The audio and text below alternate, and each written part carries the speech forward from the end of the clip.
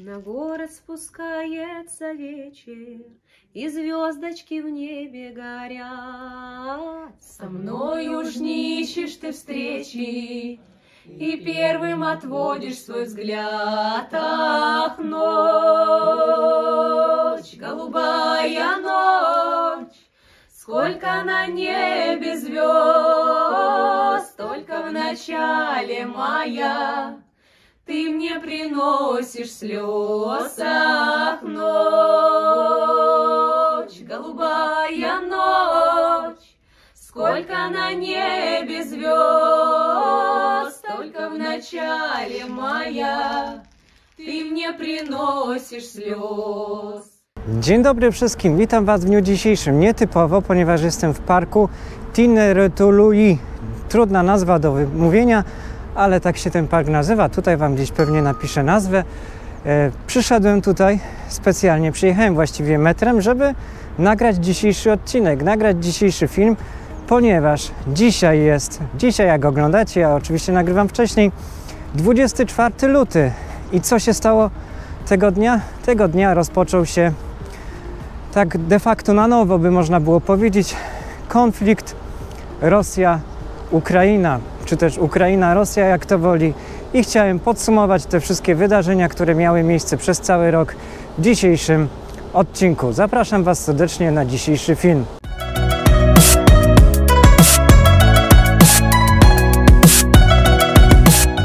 Pokażę Wam troszeczkę, jak wygląda ten park. Zobaczcie, on jest naprawdę duży, piękny park, jeden z moich ulubionych, do którego lubię tutaj zawsze wracać. No i zawsze mi się tutaj też fajnie nagrywało filmy, jak byłem. Także filmów z tego miejsca jest wiele, różne odcinki. E, Możecie poszukać na kanale, a tymczasem przechodzę do meritum dzisiejszego odcinka. Tak jak powiedziałem na wstępie tego filmu, że właściwie ten cały konflikt pomiędzy Rosją a Ukrainą no, to jakby zaczął się na nowo, ponieważ wszystkie wydarzenia już też miały miejsce wiele lat wcześniej, w 2014 roku i o tym też warto tutaj wspomnieć e, i pamiętać. E, pisaliście mi też nawet o tym w komentarzach, tak, także e, no, to są też istotne rzeczy, o których trzeba powiedzieć, ale sam fakt tego, co się stało 24 lutego, mm, że Rosja najechała na Ukrainę, no to dla niektórych był naprawdę bardzo zaskakujący. Czy mnie to na przykład zaskoczyło? Mnie osobiście w ogóle nie. Ja byłem wręcz przekonany, że tak jak się do, słuchało doniesień, wszystkich wiadomości, które e, otaczały nas z każdej strony w mainstreamowych mediach, tak, to był taki po prostu, słuchajcie, przekaz, że to była tylko kwestia czasu, moim zdaniem. To była po prostu kwestia dni, godzin, żeby Rosja najechała właśnie na Ukrainę. A dlaczego ja właściwie tak mówię i czemu z takim przekonaniem? Ponieważ Ukraina jest sobie sama winna. I teraz chciałem, żeby to też wybrzmiało, bo e, wiem, że ci, którzy oglądają ten film, którzy będą go oglądać gdzieś na początku, bo później zobaczą moją merytorykę wypowiedzi, to co mówię i po prostu napiszą jakiś głupi komentarz i nie będą chcieli dalej posłuchać, co mam do powiedzenia, tylko od razu sobie wyrobią opinię na podstawie tego, co ja już zaczynam mówić w tym filmie. A chcę powiedzieć, że całe e, to zdarzenie, cały konflikt, bo nie mogę używać oczywiście słowa na W, jest niepotrzebny. Jest niepotrzebny, można było go uniknąć, do tego jeszcze przejdę e, w dalszej części tego filmu, ale chciałem ogólnie powiedzieć tym, takim sceptykom, którzy uważają po prostu, że tylko Ukraina, tylko Ukraina, e, a nie widzą po prostu wszystkiego z drugiej strony, jak to wygląda od strony Rosji, e, to chcę powiedzieć, że nie pochwalam, żeby ginęli ludzie, tak? Żeby ginęli ludzie e, zarówno po stronie Ukrainy, jak i po stronie Rosji. To są wszystko też ludzie, tak? Nie dajmy się po prostu zwariować i tylko mówić, a że Rosja to jest największy wróg, Rosja to jest to tam w ogóle nie mieszkają ludzie, to są nie wiem co, kosmici może, nie? Rosjanie też są ludźmi, też trzeba o nich pamiętać, też jeżeli biorą udział, udział w tym całym konflikcie i walczą, Rosjanie tak samo giną. Może nie giną bezpośrednio na terenie Rosji, tak, ponieważ nie dzieje się to wszystko tam, ale tak jak mówię, Poczekajcie, bo jadą znowu karetki, muszę chwilę się uspokoić. Bukareszt to jest takie naprawdę pojebane miasto z tymi karetkami. One po prostu zawsze mi uniemożliwiają nagrywanie, cały czas huczą gdzieś te sygnały. Ja cały czas wiecznie na sygnale. Ktoś mi pisał tutaj, Darek z Berlina, pozdrawiam serdecznie, że w Berlinie jest jeszcze gorzej. Nie wiem, nie wyobrażam sobie, dlatego robię wszystko i dążę do tego, żeby się wyprowadzić z Bukaresztu, ale na wszystko przyjdzie kolej, na wszystko przyjdzie czas. Dalej, kontynuując mój wątek odnośnie właśnie tego całego konfliktu, jest mi przykro, że giną ludzie, e, zarówno po stronie Rosji, jak i po stronie Ukrainy. I jestem przeciwny, jeszcze raz to powtórzę, żeby to wybrzmiało, jestem przeciwny jakimkolwiek konfliktom, jakimkolwiek, czy to pomiędzy tymi krajami, czy pomiędzy innymi, czy pomiędzy, a przy, jeszcze do tego też przejdziemy później, ale czy ktoś się w ogóle przejmuje tym, co się dzieje w innych krajach, tym jak na przykład Izrael e, zabiera sobie po kawałku Palestynę, jak Izrael na przykład atakuje na Syrię. Ludzie po prostu o tym nie myślą, nie rozmawia się o tym, bo to są kraje gdzieś oddalone, e, no dosyć daleko od Polski, tak? Zobaczcie, jaką piękną alejką sobie tutaj będę spacerował teraz też, także e, naprawdę no, piękna też pogoda, słoneczko. No i co? Aż się chce nagrywać dzisiejszy film. Analizując całe te wydarzenia, które miały miejsce przez cały bieżący rok, od 24 lutego, w ogóle też trzeba warto wspomnieć i y, powiedzieć to tak, że żyliśmy w innej rzeczywistości przed tym dniem. W innej rzeczywistości byliśmy zamknięci w domach, wymagało się od nas różnego rodzaju dziwnych rzeczy, dziwne przepisy były wprowadzane, rozporządzenia, które nie były prawem i nagle z dniem 24 lutego 2022 tak, drugiego roku wszystko zostało zmienione. Wszystko nagle, nagle wszystko ucichło, ponieważ e, Putin najechał na Ukrainę. Czyż to nie jest też dziś wymowne, tak, w tym wszystkim? I ja nie wiem, nawet ci, którzy gdzieś tam byli bardzo zaangażowani w tą całą sytuację e, z chorobą, bo nie mogę używać pewnych słów na YouTubie oczywiście, to te osoby chyba też myślę, że zauważyły, chociaż e, jak, jakiekolwiek by nie miały poglądy, tak, odmienne od tych, które powiedzmy ja reprezentuję, czy większość z Was tutaj oglądających, to chyba zauważyły, że jednak coś się zmieniło od tamtego czasu i że nagle przestało się robić tak zwane testy głupka, że nagle po prostu wszystko ucichło. Można jeszcze dodać w tej kwestii, że przez cały ten okres czasu, do dnia dzisiejszego, tak, bo cały czas to się dzieje, to Ukraina jest dofinansowywana. Dofinansowywana mm, zarówno przez Stany Zjednoczone, przez Polskę. Jest wysyłany sprzęt militarny, mnóstwo sprzętu.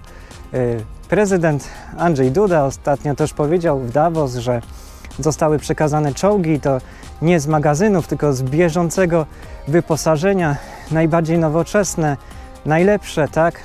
Także to wszystko gdzieś pojechało na Ukrainę i jest to tam wykorzystywane. Ostatnio było też przecież e, spotkanie Bidena z Żeleńskim i e, Biden obiecał 500 miliard, e, milionów dolarów, tak? Sprzęt o takiej wartości, który ma być przekazany właśnie też na Ukrainę. Jak wybuchł w ogóle ten cały konflikt, tak, to bardzo dużo ludzi z Ukrainy przybyło do Polski i trzeba to jasno powiedzieć, że Polacy spisali się więcej niż na medal, ponieważ zaczęli pomagać, zaczęli pomagać na własną rękę, zaczęli przywozić ludzi spod granicy do swoich domów, nawet ich przyjmować, wysyłali też pomoc, y, rozdawali jedzenie y, i tak dalej. Także naprawdę ludzie w Polsce bardzo się przejęli tą sytuacją. Już niezależnie e, czy teraz powinniśmy pomagać Ukrainie, bo ja zawsze powtarzam, że powinniśmy zaprzestać tej pomocy, że ta pomoc zaszła za daleko i że po prostu nasz budżet się wyczerpał, tak? Bo trzeba zawsze o tym też powtarzać, że e, cała pomoc, jaka została udzielona dla Ukrainy, to jest z, z pieniędzy polskiego podatnika, tak? To są pieniądze Pol Polek i Polaków, to nie są pieniądze rządu, bo żaden rząd nie ma swoich pieniędzy. Tak, trzeba o tym pamiętać. Oni nie mają. Dudasz, Dudasz, Morawiecki. Czyje pieniążki wzięliście na pomoc Ukrainie i cały czas je bierzecie i tak hu, wyrzucacie je po prostu w błoto i marnujecie, tak? Taka jest prawda. Taka jest prawda, tylko że nie wszyscy to niestety mogą zrozumieć. Ostatnio też jak byłem w Krakowie, to przecież robiłem film, w którym opowiadałem jak Ukraińcy tak na bezczelnego chodzili w rynku w Krakowie, pytali się w jakim języku rozmawiam, czy po polsku, czy po angielsku. E, ja, ja im powiedziałem, że po polsku, tak, że oczywiście po polsku, ale e, byli po prostu mm, nastawieni na to, żeby zbierać pieniądze, żeby zbierać e, właśnie na dofinansowanie armii na Ukrainie, tak? Także po prostu gdzieś to też zaszło za daleko, ta ich taka tak zwana bezczelność moim zdaniem, że dosyć, że dostali tej pomocy już tyle, już tyle, że ta pomoc się po prostu wylewa, już się wylewa jak z szamba, gówno po prostu i jeszcze mają czelność po prostu pytać o więcej. To jest naprawdę, słuchajcie, coś niepojętego. Musimy też pamiętać o wydarzeniach w Przewodowie, w tej wiosce przy granicy y, Polski z Ukrainą, co się tam wydarzyło, co się stało i o tym, że to była cała prowokacja ze strony Ukrainy, że prezydent Żeleński z całą pewnością, z całym takim przekonaniem opowiadał, że zostały wyszczelone pociski rosyjskie. Jak się okazało, to strzelała Ukraina. Zginęło dwóch Polaków. Nie usłyszeliśmy ani słowa przepraszam, ani B, ani me, ani kukuryku, jak się to mówi. I wszyscy przeszli do tego do, w takim porządku, takiego porządku dziennego, że ja jestem po prostu w szoku, nie mogę sobie tego uzmysłowić, że to wszystko tak łatwo przeszło, wszyscy zapomnieli i tak dalej. Ale nie chodzi mi o to, żeby tutaj teraz rozczulać się i myśleć, że y, to była wina Rosji, bo wszyscy dobrze wiedzą, że to nie była wina Rosji, że to była wina Ukrainy. Chodzi o to, że oni nie przeprosili, że oni nie powiedzieli nawet słowa przepraszam. Prezydent Żeleński nic nie powiedział, w ogóle się nie odniósł do tej sytuacji, tak mu po prostu z ryja y, skapło, że powiedział, że to była Rosja, a później jeszcze w ogóle nie przeprosił. Także E, to są też takie aspekty, które no, powinny być gdzieś tam poruszane w mainstreamowych mediach, w mediach głównego ścieku, jak ja to zawsze powtarzam, ale niestety nikt o tym nie mówi. Tam w oddali widać jeziorko, takie naprawdę bardzo piękne, słońce mi tutaj przyświeca i ja sobie przejdę teraz w dół na przełaj takim trawnikiem. Oprócz tego robiłem też takie filmy, słuchajcie, że Bandera jest wciąż żywy na Ukrainie. Tak, i to jest prawda, ponieważ 40% Ukraińców dalej e, czci tego mm, osobnika, tą postać, jaką jest Stefan Bandera, Puh! Który wymordował kilkaset tysięcy Polaków. E, no i niestety oni uważają go za bohatera narodowego. E, powiem inaczej, nasi polskojęzyczni politycy, oni nawet nie mają z tym problemów.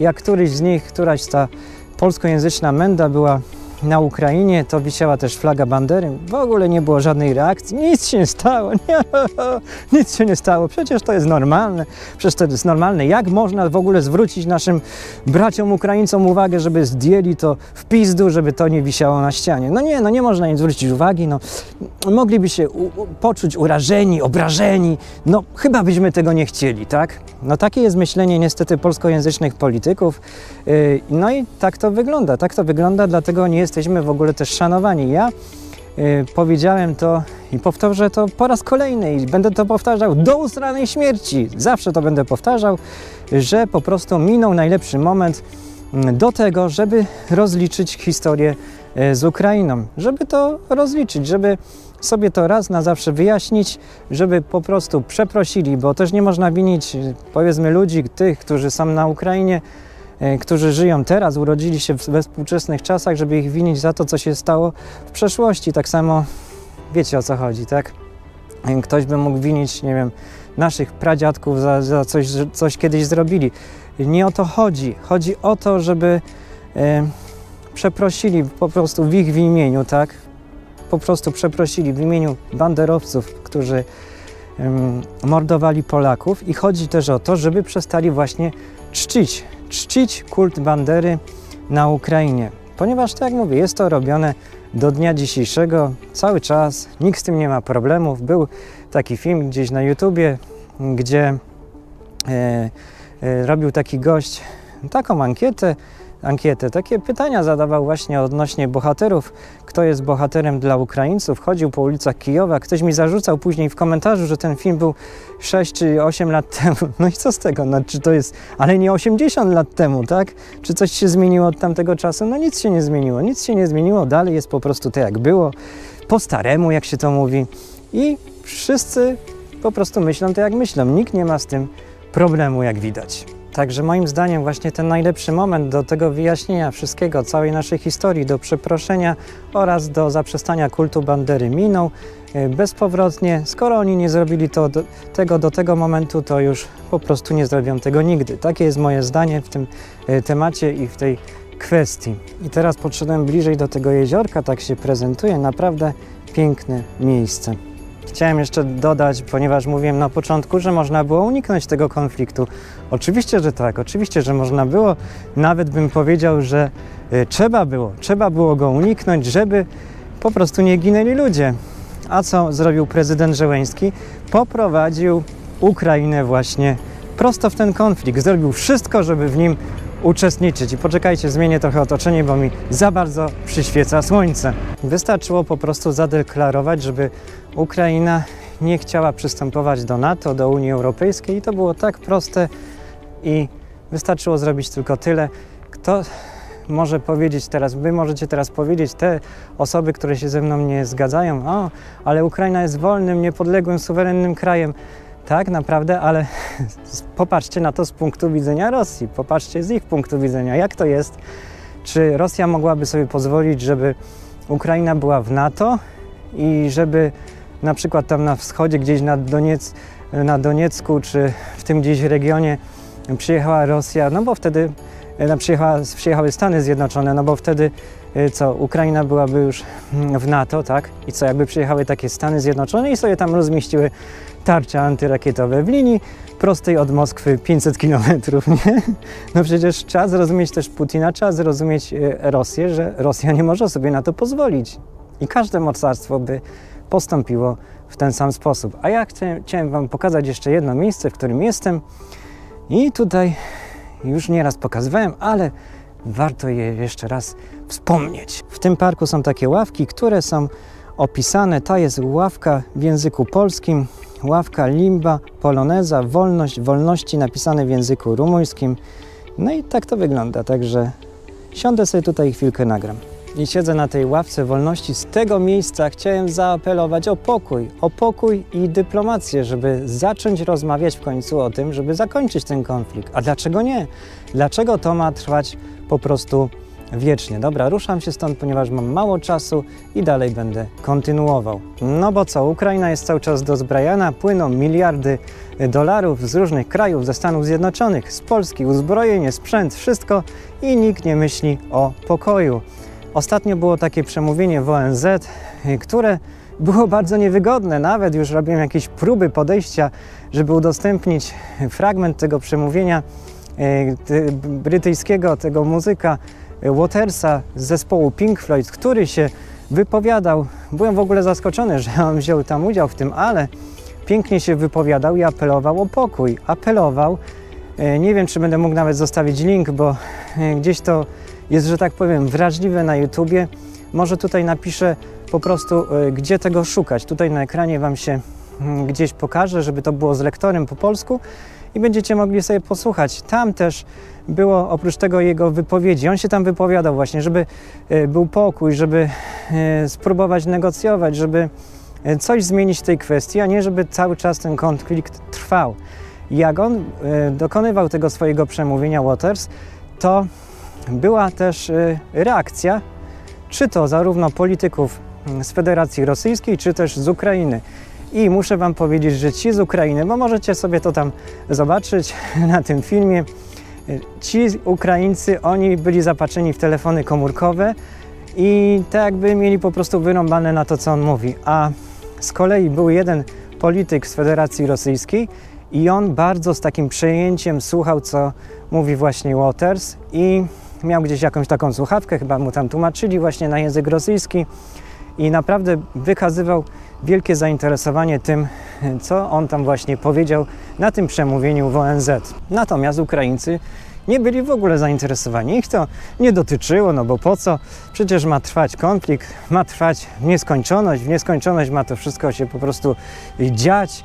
Prezydent Żeleński, i to też chcę, żeby wybrzmiało, Pewnie Ukraińcy też oglądają te filmy i wy też oglądacie, yy, słuchacie co się dzieje, jakie mają ludzie opinie i tak dalej.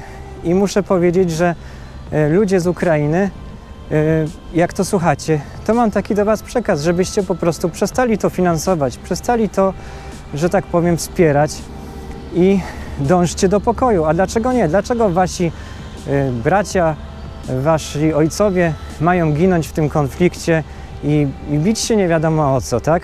Dlaczego? Jest Wam to na rękę, przelewanie krwi? Powinniśmy dążyć do negocjacji, do negocjacji pokojowych, żeby skończyć to, żeby zawrzeć jakieś porozumienie, żeby po prostu e, no, coś ustalić.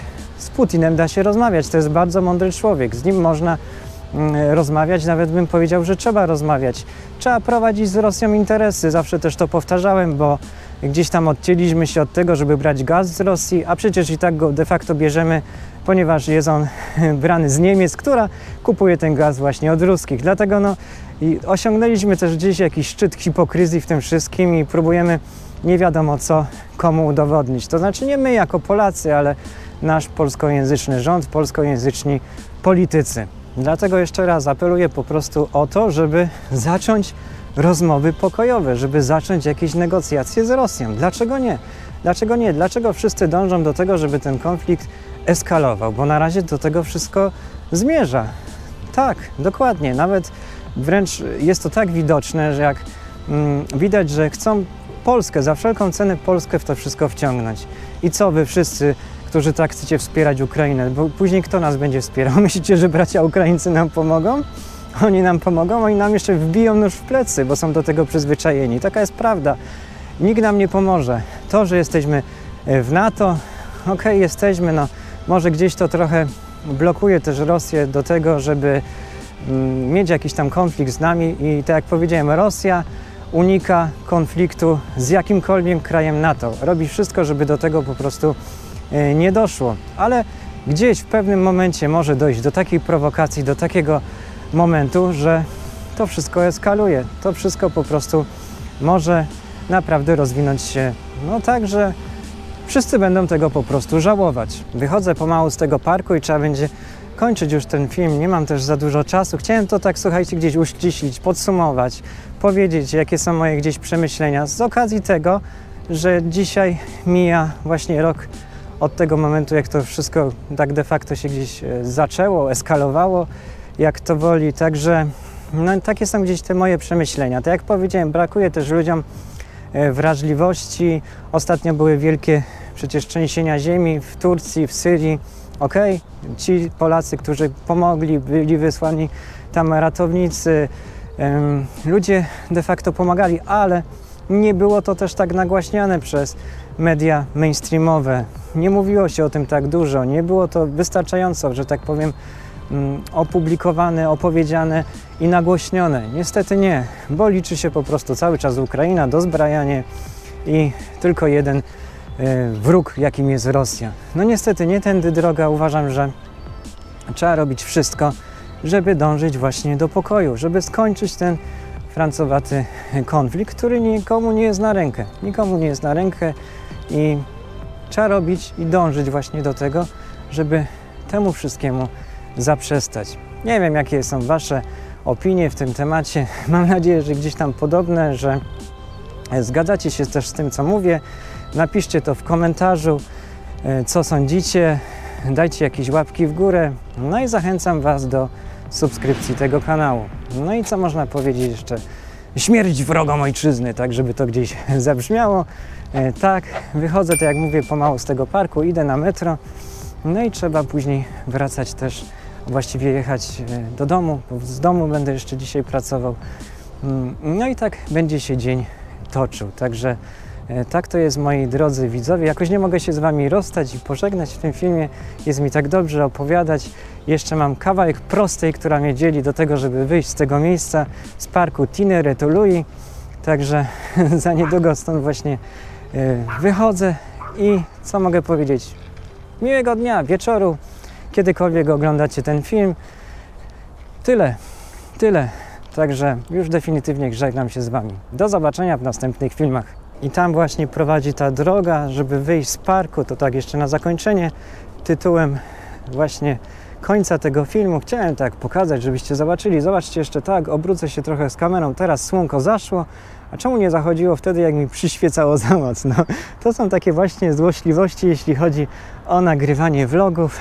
No ale cóż, jest jak jest, nie ma co narzekać. Ważne, że jest piękna pogoda, że nie pada deszcz. No i że miałem w ogóle możliwość dzisiaj przyjechania w to miejsce, jakim jest Park Tineretului i nagranie dzisiejszego odcinka, dzisiejszego vloga.